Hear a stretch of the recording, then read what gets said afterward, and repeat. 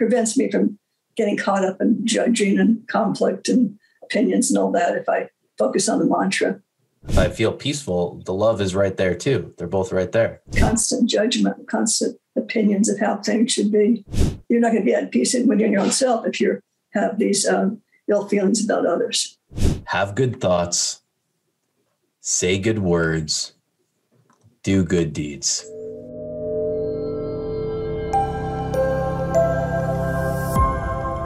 Hello and welcome. So glad you're here and so glad to be joined today by Swami Jyotirmayananda. Swami Jyotima and I have been living together now for about four years at the ashram. So we've spent a lot of nice time, great conversations, and I'm super pumped to have her uh, on the podcast today. And I'd like to begin by just sharing a little bit about her background. She was initiated as a sannyasin in 1986 She's authored the children's book Sparkling Together. She has served at the ashram in various capacities, including designing and installing displays at Lotus.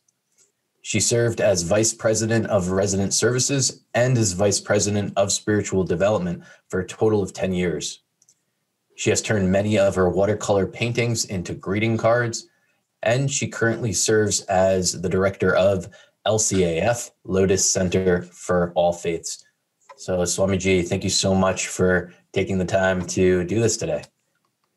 Yes, mm-hmm. my pleasure. All right. So, I want to begin by asking you about this. You have a, a definition of love that you used mm-hmm. uh, in the book. And love yeah. is knowing that you are special and everyone else is special too. So I, I, found that very interesting as a definition of love. You are special and everyone is special. And maybe it seems obvious, but why did you choose to devi- define love like that? Okay, so I, will give you a little um, background about this. The children's book I wrote, um, it's called Sparkling Together, Starbright and His Earthling Friends. You can see it here. Um, and the book is about universal love and it has. Is it okay, um, Avi, if I tell a little bit about the book before I answer your question? Of course, yeah. Okay, so I'm going to just tell you a little bit about this book, the background of it, um, and how I got into writing a children's book. I was uh, working with children in San Francisco uh, between 1977 uh, and 82. I had an after-school program for kindergarten children, and they're all, you know all about age five. And I noticed how brilliant these children were. I was um, at the time learning, I just got involved in integral yoga. So I was learning the integral yoga teachings. I would pass them on to the children in terms they could understand. And I was just amazed at how, at that age, the kids have all the questions and they also have all the answers. So I started this book, uh, working with the children basically. And uh, what it is, I'll just um, read it from the uh, back of the book. It's um, eight stories that depict the adventures of Starbright, this is the outer spacey from Planet Om, and Skyheart and his sister Rose of Planet Earth.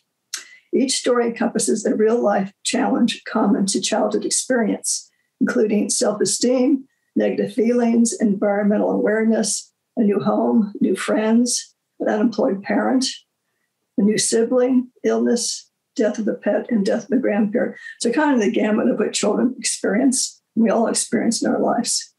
And uh, guided by the outer space hero, Starbright, Sky and Rose discover that heartfelt love is the main key to success when they are faced with life's various challenges.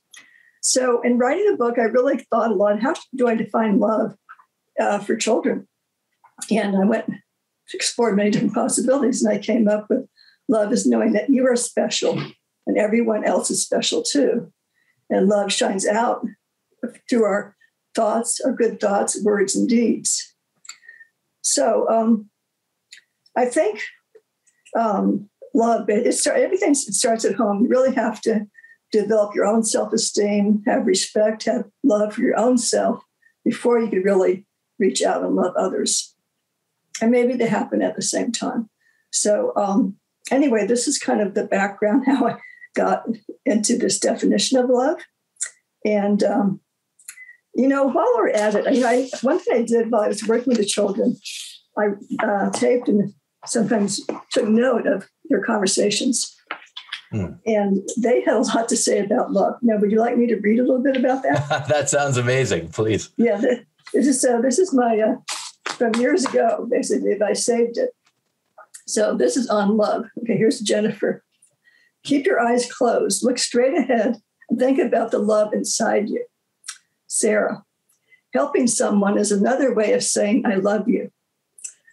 And sharing is a spirit of love. Then um, Jennifer, I'm the sun because the sun is Mother Nature and the sun is full of love. And uh, Sarah again, sometimes I would take the kids to the beach. Do you know how I got warm? I got the love inside of me to keep me warm. And uh, let's see, Aaron, in God's way, that boy is my brother. Cole, in God's way, that bus driver is our uncle. Um, and Vanessa, I gave her house a little love. I asked how. I went to the easiest part to get to the curtain and gave it a kiss. And uh, Vanessa again, I love everybody in the whole world and send the bad people a good wish to get better. So this kind of gives you an example of how children have this capacity at that age to understand fairly deep uh, spiritual and philosophical concepts. And uh, anyway, this is um, kind of a background of my working with children in San Francisco, and I also worked with children before that and after that. And uh, I've always been a great lover of children, and of course, adults too. So, Avi, what next? Yeah. Well, I want to ask you about the connection between relaxation or maybe feeling at peace and love. Mm-hmm. I've found that like if I really relax and I like let go, I feel peaceful, then the love is waiting there for me. Have you noticed anything similar to that?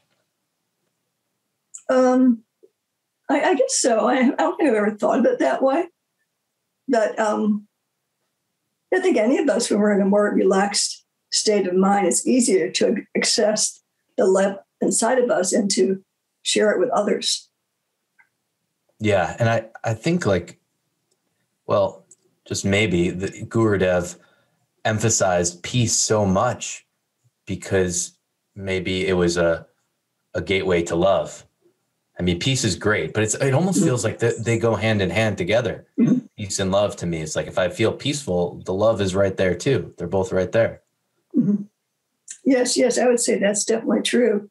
Um, you know, starting with the peace inside and cultivating that peace through, I'd say, through your sadhana, through your practices.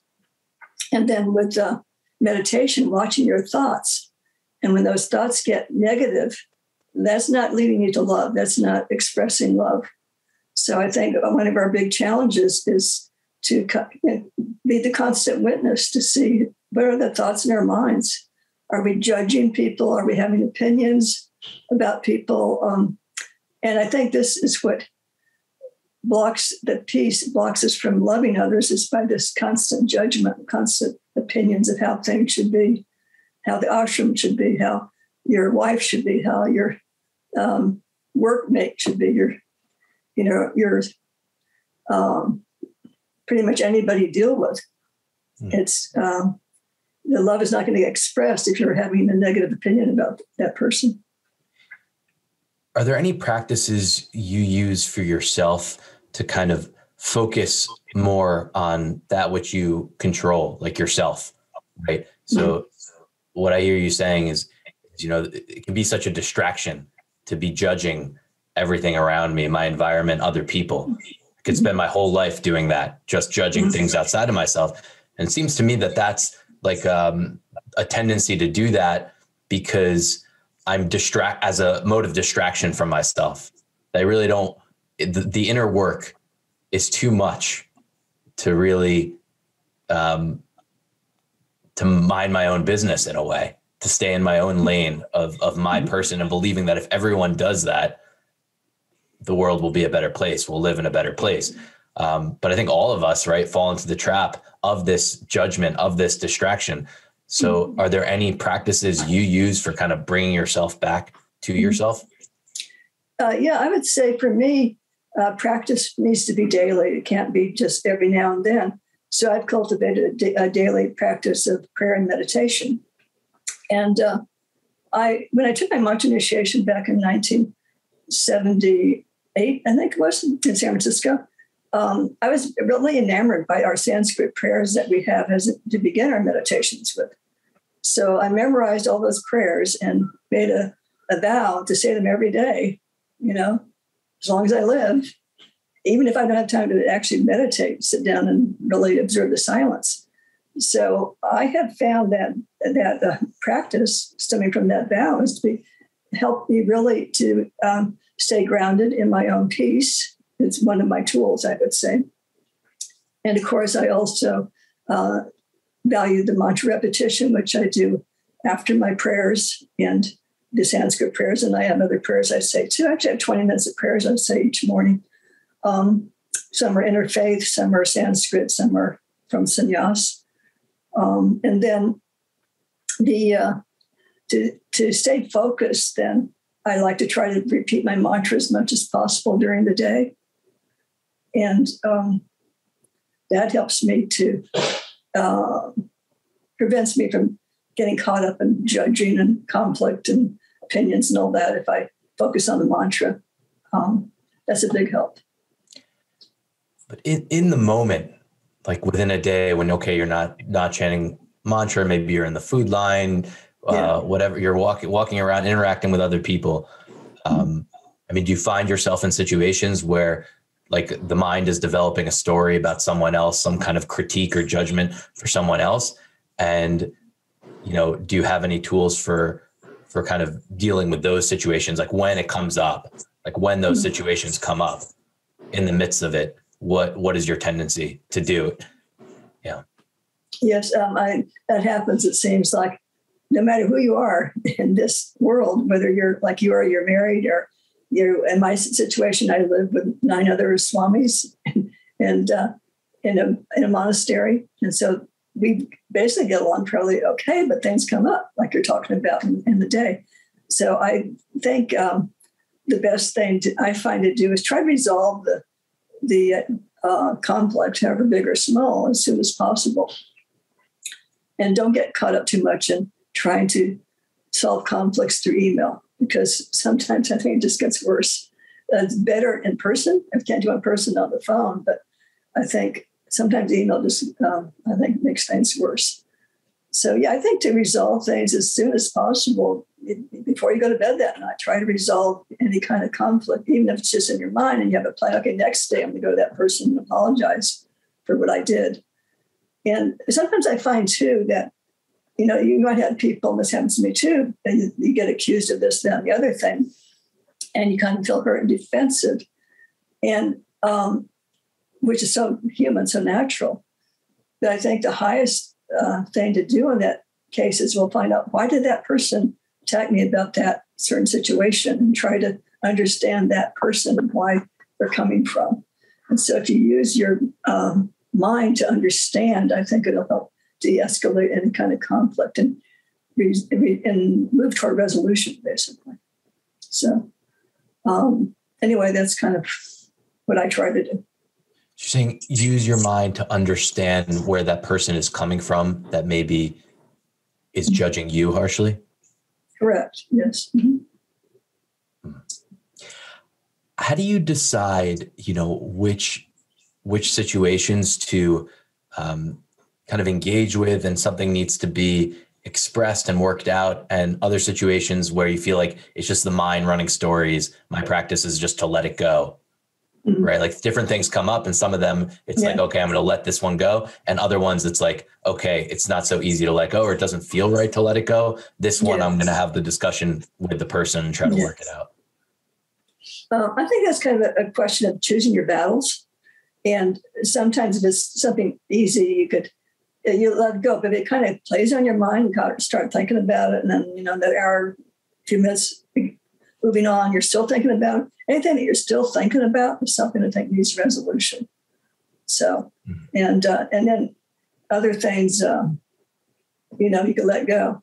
You don't have to like kill somebody. I mean, I follow the, the current news, which is pretty much a horror story in many ways.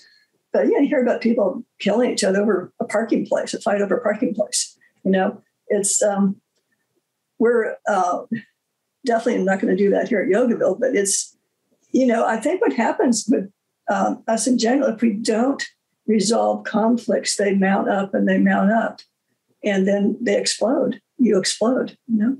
So it's really good, I think, on a daily basis to kind of check where am I at with my relationships with others, and to um, you're not going to be at peace within your own self if you have these um, ill feelings about others. What do you think about the activity of watching the news?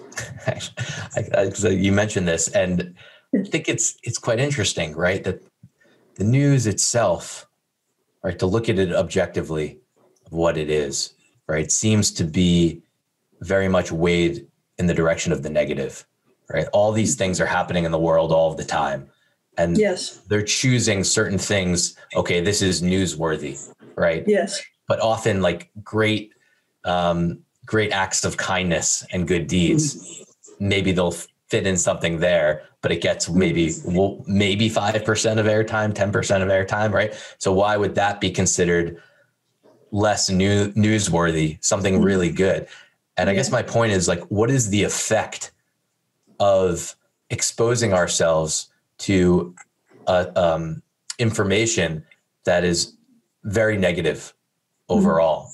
And if we're taking self care seriously mm-hmm. with ourselves and what I'm, you know, like being at the ashrams, like that's why I want to be here because it's a peaceful environment. And I realize that my environment affects me. Therefore, I'm going to put myself in the most peaceful environment I can. So the environment of the news, in a way, mm-hmm. I, I, mean, the flip side of that is like I want to be informed, right? I know I want to mm-hmm. know what's going on with the world. Yeah. But the other side is how is this affecting me?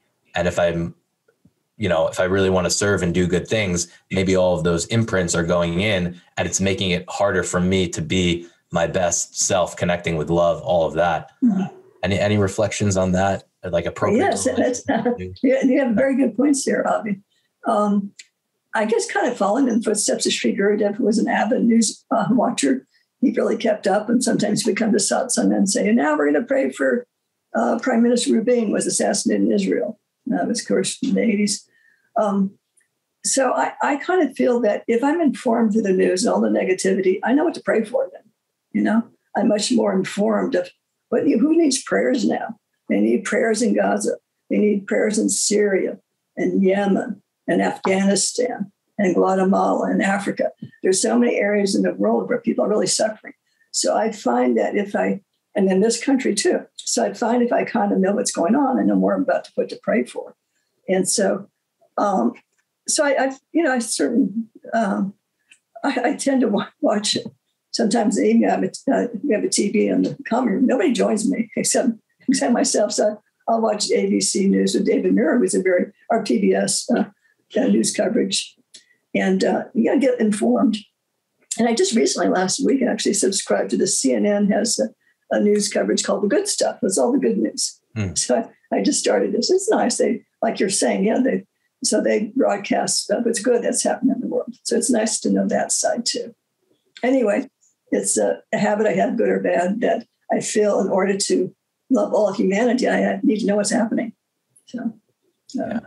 I'm glad to hear about that, the good stuff. And, but you know, one time I remember I, I was talking to um, this is the brother monk of uh, Sri Gurudev Swami Chidananda. They asked him the same question, but should we watch the news? And he said, well, if it disturbs your peace, don't watch it. So there's some things like in the news I find if it gets getting really like too too graphic, I just either change the channel or close my eyes. or If there's a certain limit I could take, you know. So I um, cut it off where I feel it's going to really disturb my peace. Mm-hmm. So it, yeah, it's hard for me to not feel that it is disturbing my peace in the sense, and and more specifically, actually questioning my faith because when I hear about all of these things that are happening, you know, in the world on a large negative things on a large scale, I feel like I go into the channel of things are getting worse. There's, you know, there's disaster, disastrous situations, um, and and there's a lot of concern. And when I feel concern, then my peace is disturbed, right? Mm-hmm. So the flip side yeah. of that is is having faith, right? And mm-hmm. for me, saying I don't know, you know, it's very complicated all the good things and the bad things and whatnot. I'm just a limited human being. My job, my responsibility is to have faith. And I think one of the other points in, in your book was it's all for good. So no matter what's happening, to really believe that it's all for all that I don't really know too much, but I have this core belief that somehow it's all for good. Yeah, yeah, that's Gurudev's, um, you know, main teaching. Basically, Lord is all your name, it's all your form, it's all your deed. It's all for good. So no matter what happens, it's going to move us in the right direction. Um, you know, just the other day at the ashram on during Guru Purnima that night, we had a huge um, rain, like the heaviest and the loudest rain I've ever heard ever, and for three hours nonstop. And obviously, you said it went up to your place too. Yeah. Yeah. So it was only in the Yogaville and area. It wasn't in Scottsville, Dillwyn, or Lovingston. It was only this area. I think it was kind of Guru, Guru Purnima blessing. But then the next day, you know, there was damage on the Lotus Road, and there's uh, uh, some of the uh, rooms here were flooded, and we had a lot of work to clean up, basically. So, but you look at that, oh, well, it was Gurudev's blessing. And um, that's another way of it's all for good, whatever happens. You know, so it's hard sometimes to see when you know, we lose us, uh, like the people now dying from COVID 19. I mean, it's hard to see how this whole pandemic is all for good, but um, it is what it is, and the humanity is uh, facing it in various ways. So, um, you know, life is a mystery. Hmm. That's one thing my dear mother, uh, one of her uh, teachings, she didn't have too many, but this one was pretty profound. Life is a mystery. Don't try to understand it. So sometimes at a certain point, I feel we have to just stop trying to understand why things are the way they are and just accept them. I love that so much because it seems that the mind wants to understand, it wants yeah. to figure out. Yeah. But it forgets its limitation. I forget my limitation that I'm just a, a human mind. I can't understand the vast, I can't even understand a little bit of it. yeah, that's true. Um, I wanted to ask you about in in the story. You know, one of the the main characters, the kid Sky, uh-huh. uh, he makes a, a new friend, Ben, and uh, because he's been interacting with uh, Starbright, you know, who's from another planet, and he tells his friend Ben about it. ben doesn't want to be friends with him anymore because he thinks he's lying to him. Mm-hmm. Um, and so Sky is really upset because he wants Ben to like him. Mm-hmm. And I just thought this very like a very core uh, feeling that maybe all of us or many of us have that we want to be liked by other people. It really it really hurts when we're not we don't feel that we're we're liked by others. Mm-hmm. Uh, so I wanted to ask about your personal experience on that. Do you, do you have that tendency to you know want to be liked by other people and does it is hurt for does it make you feel hurt? Do you feel hurt if if you're not liked? Uh, that's a good question. Um, I think that's um, we all of us as human beings want to be liked. You know, that's something kind of very natural. And uh, yeah, something happened to me the other day where a person was kind of uh, uh, not liking some some of the ways I approach my service here at the ashram, and not just now, but for years. And so I was very hurt because you know my service here at the ashram is kind of the core of what I do. And uh, so I was very hurt about it. And but then I went to uh, the place of and, and and talked with another person to get. Sometimes you have to kind of talk with a friend when you're trying to solve something. You're hurt by somebody, and then maybe you go to a friend who maybe knows the situation. You try to resolve it. And so what I realized is I went back to that kind of theory of try to understand why that person is uh, judging you in that way. And uh, and then try to find a way to bridge the gap, find something you have in common with that person, and talk about it or do something.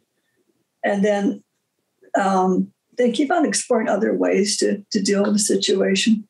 But get get over the hurt as fast as possible. This is kind of what I like to do um, because it's uh, you know being in that self pity mode is not really helping anyone. Hmm. Isn't that the truth? I feel like that that's there's like another epidemic that's that's going around the self pity that it, mm-hmm. it's quite popular to fall into that trap of of feeling yeah. Um and uh, what is that exactly? That feeling of self pity that I, I, haven't been given enough good things in my life. I deserve yeah. more. Uh, or, or, or the victim. You're the victim mode. Right. Yeah. Yeah. So now, since you're talking about the book, which I just looked at the other, but this is published in 2004 by Integral Yoga Publication, and is, is available at um, uh, Integral Yoga Distribution and also on Amazon.com. It's also available on Amazon as an ebook.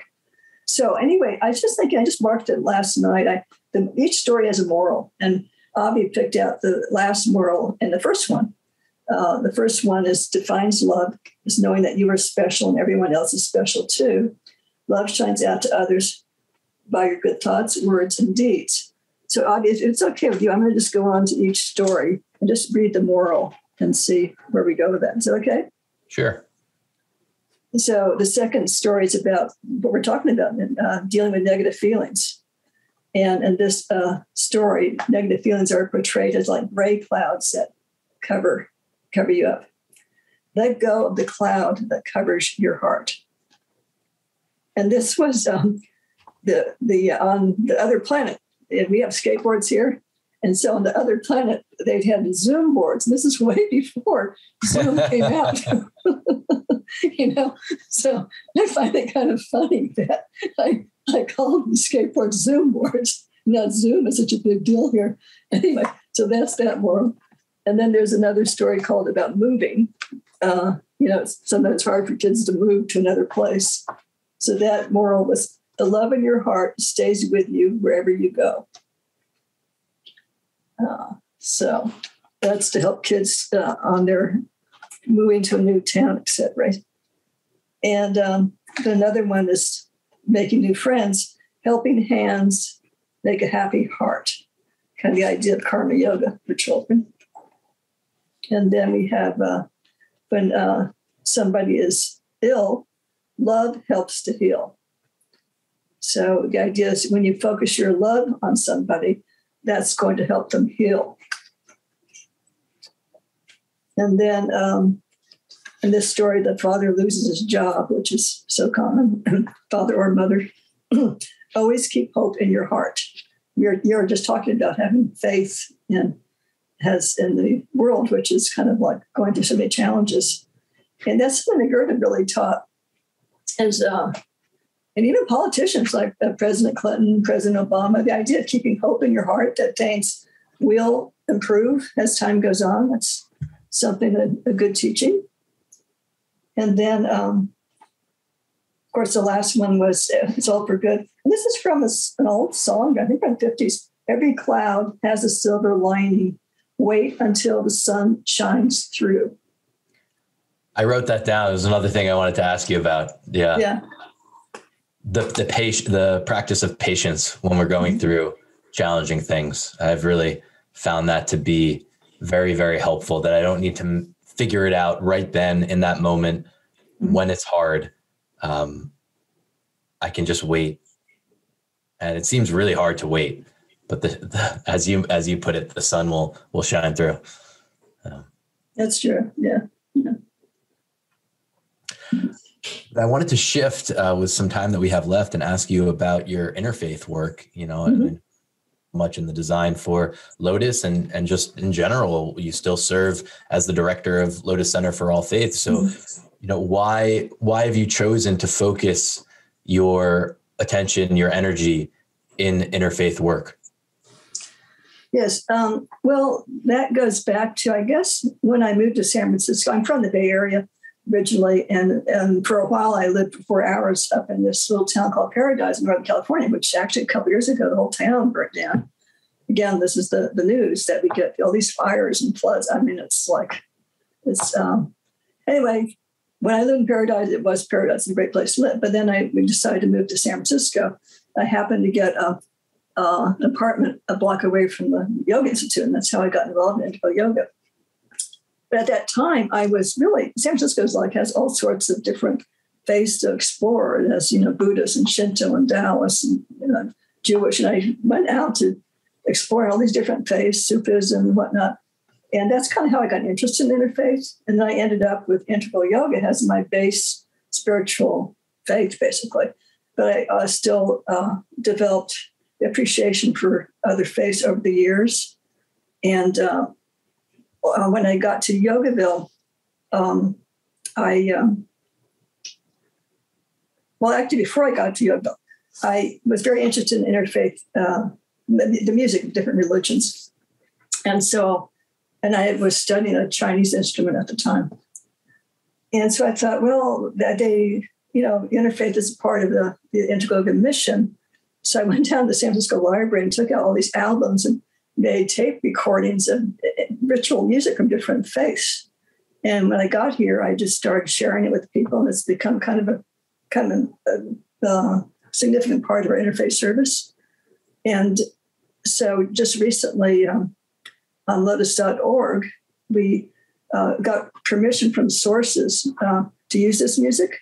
And now it can be downloaded for anybody that wants to use interfaith ritual music for a service or a prayer circle or for their own listening. It's on our website, lotus.org, under resources under interfaith aids. So I'm really happy that we, you know, uh, accomplished that. And the other thing that um, happened when I got here is Lotus was uh, being planned. It was being um, discussed on what was going to be inside Lotus, basically. And the downs, the, the lower level was supposed to be a library. And coming from more of an art background, and you know, I graduated from UC Berkeley, um, but um, you know, I've never been a great reader. I had to read to you know do uh, past classes and all that. Um, but I, libraries are not my thing. Art museums are what I like. Um, so I drew up a sketch of why don't we make the lower level like a display with artifacts of different faiths, the scripture, um, their prayers and artifacts. And I just spent a lot of time on it. And then I sent over to Sri Gurudev thinking that he would, he didn't know me that well at the time as kind of the new kid on the block. So I didn't think he would do anything with it, but he liked it. this is so typical of Sri Gurudev. If he likes something, he doesn't care where it comes from. So um, anyway, so I got involved in uh, setting up the uh, whole face hall in Lotus before internet. So we had to all those items. About three of those items are were in Gurudev's collection that had been given to him, and uh, the rest we uh, Hamsananda and I did. She was a typist, so she typed all these letters to these different organizations around the world that sent in the items, um, and uh, then we. A lot of us, a lot of people worked in helping to set up the displays. And so, um, anyway, that's how I kind of got involved. And I always like to mention that I felt uh, one aspect of Gurudev that I uh, so appreciated with his amount of trust. You know, sometimes we don't trust each other. And I felt Gurudev um, trusted me with a rather major project, even though I was kind of like the new kid on the block. So um, anyway, that's one thing I always appreciated Sri Gurudev. And he was so not a micromanager, you know, just the opposite. He would occasionally come in, oh, how about this way? How about that? but I was not micromanaged at all in that whole project. so um, anyway, that's kind of how I got involved in interfaith. And um, then we started as uh, Lotus Center All Faiths, of which I'm now the director, is like the outreach arm of Lotus. And we uh, make sure that we uh, celebrate the uh, holidays of the different faiths uh, here at the ashram and bring in um, our own members and other people from clergy from other places to educate us more about the different faiths. And then the other thing we've done in past years, I don't know if it's going to continue, is attend these big conferences Like I've attended about nine interfaith conferences in this country and Canada over the last several years.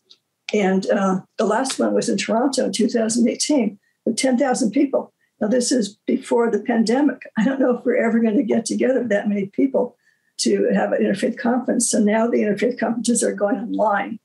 So um, I don't know the future of this, uh, of the conferences, but I think the whole interfaith movement has um, really um, become established.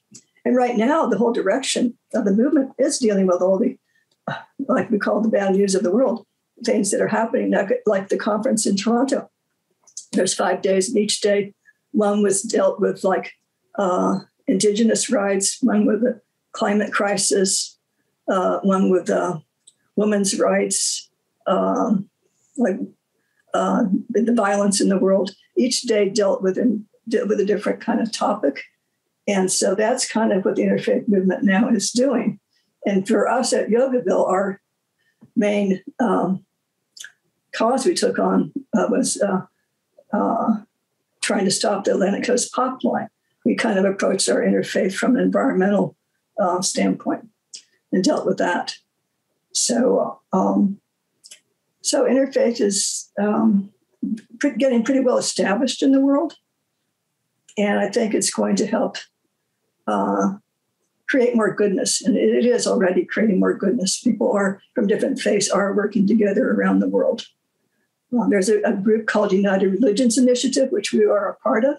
These are cooperation circles, about 400 around the world, where from a grassroots level, people get together to take on uh, issues and missions to improve the world in your area and to learn more about their their uh, faith of their neighbors. So anyway, that uh, uh, and I do. Uh, uh, I'm not a real big book reader, but the, most of the books I read are either our scriptures, the Yoga Sutras, or the Bhagavad Gita, or an interfaith book. And right now, I'm reading a book called "The Faith of Our Neighbors," and I find that quite interesting. So, anyway, that's my uh, involvement with interfaith. Yeah, I just just add, and probably many people listening have have been to Lotus, um, and I know that many people have powerful uh, experiences going in there, and I'm definitely not an exception to that.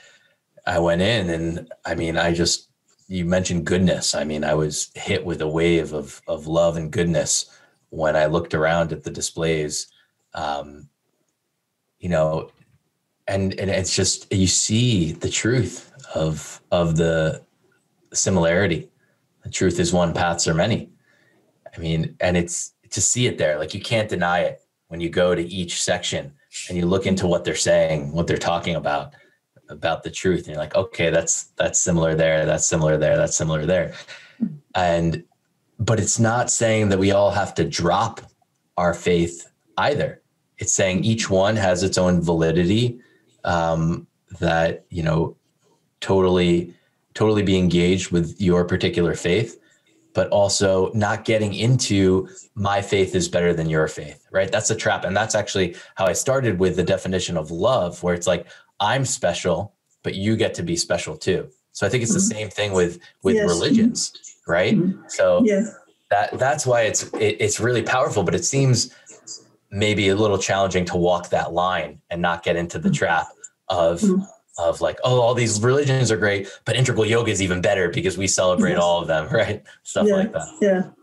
Yeah that is a trap that uh, uh, we definitely try to avoid and uh, certain religions over the years have uh, got into that. I was just reading last night about um, in this book i'm reading now vatican ii uh, in 19 uh, was it? 60s now 1962 Pope John the 23rd had an ecumenical kind of council, and it was huge in the Catholic Church. And they switched from the uh, head mindset of thinking the Catholic faith is the only true faith, and if nobody's not in it, you go to hell, basically. And so they switched over to the idea of, um, uh, you know, yes, our faith is special, but others are special too, and try to encourage the morality and the spirituality in other faiths and not uh, judge them um, as uh, not being correct in what they're viewing. So that was that was a big change in the Catholic faith and the Catholic religion. And so um, I think um, people that are uh, I think Gurudev's thing with interfaith is basically you want to go deep and find your own spiritual core, go deep into that, but at the same time, really respect all the other faiths like you would in a family, like you love your aunts and your uncles and your cousins and all that. You want to appreciate and uh, respect every all the other faiths, but don't stop from finding your own spiritual core, basically. So. Hmm final question for you. I wanted to ask you about being an artist. Okay. And, uh, when you when you practice art, like what if some if you're successful, which I would say you're successful looking at a lot of a lot of your art, what allows you to be successful at an artist as an artist? Uh, well, when you say I'm an artist, I'm not like a, a, a renowned artist. I'm like a other than maybe at Yogaville, some people know my art. They know my artwork because I have these these cards that I've uh, developed for my artwork into cards. Like this is a series I did for many, many years. I just did hearts basically. So, uh, and uh, then I got into uh, doing uh, Lotus. There's a blue one, there's a pink one. Um, so these are also available at Integral Yoga Distribution. So many more too. You've and, done a ton of them. Yeah. Well, yeah, I do. The thing, my thing with art, this this is an interesting one. Okay, this one I did during an earthquake and and here at Yogaville, our one earthquake in the last forty years. And coming from California, I've been through earthquakes. It wasn't a big deal to me, but I worked with very wet paper, and the paper was starting to dry. And I thought I got to finish this art piece. I don't hear about the earthquake, so anyway, that has an interesting story. Um, but to, for me, with art is to, uh, it is a real meditation for me. It helps me to get into another world where I'm not worrying about my resolutions I need, conflicts I need to solve, and all that, or you know, the latest drama at the ashram. And so I think being successful in art is not being successful in the way that you sell all your artwork. I just don't even bother to go down the road at this point when I pass away, let other people do that. So, um, but you want to be successful and then you're happy with what you're doing and how you're progressing. And so when I finish a piece of art, I'm always thinking, well, the next time I sit down and paint, I'm going to maybe make this one a little bit different. I usually tend to work in series, so I'll make the next in the series this way. But I work quite fast. You know, the watercolor, if you overwork it, it doesn't look good. So I hardly, if I spend more than two hours on a painting, it's, that's not good. So that's why I have a lot of artwork is because I, they're, they're, they're, it's not like oil, oil painting, you could go over forever and spend years on it. But uh, with watercolor, it's better to kind of get over with. Otherwise, it looks overworked. So, uh, but I, I, took up watercolor actually more since I've been in Yogaville. And um, I really enjoy that medium. When I studied art in college at UC Berkeley, um, I worked more on big canvases with acrylic and a whole different style. And um, but now it's it's easy for me to set up watercolor. Um, it's uh, you know fairly easy medium to work with. I don't work real huge. Uh, um, so anyway, it's it's fun for me, and people seem to like the product. So um, that's that's that's kind of. I think that's the key is that it's fun. yeah. right. Yeah. Yeah. Usually when things are fun, something good. Well, Gurudev used to say that. He used to say life is for fun. And he was such a great example of a person who really enjoyed life. And I think that's something we um, all need to do is each day set aside a little time to have enjoy life, have a few laughs, um, enjoy each other, and have fun. And that's one thing I could say with the pandemic at the ashram. I feel that we're becoming closer as a yoga Yogaville family um, you know, with um, whether you live uh, in the community or serve the ashram, I feel it has brought us closer in ways. And I think that's one of it's all for good. That's one thing that's been happening. That is good. So the priority of, of fun is an interesting one. I, I love that Sri Gurudev says that this is the point of the point of it all to like even just set that intention like wow, am I having fun? Are things fun? Yeah. As like as a priority, yeah. almost as sadhana in itself yes. to have fun. Yeah. he always wanted us to enjoy our service, basically. Uh, our service should be enjoyable. I'd like to close with, I think, the main message uh, from your book, which I just mm-hmm. I love so much. It's so simple.